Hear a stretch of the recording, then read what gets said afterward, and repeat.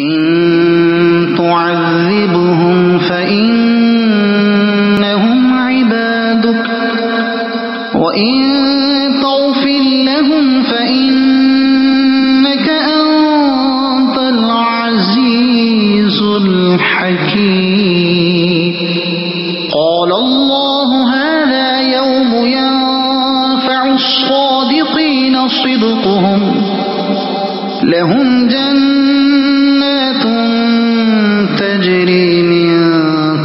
تحتها الأنهار خالدين فيها أبدا. رضي الله عنهم ورضوا عنه. ذلك